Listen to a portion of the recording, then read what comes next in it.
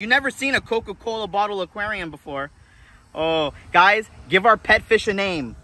This is gonna look good at the house, Brian. Give our give our new pet fish a name.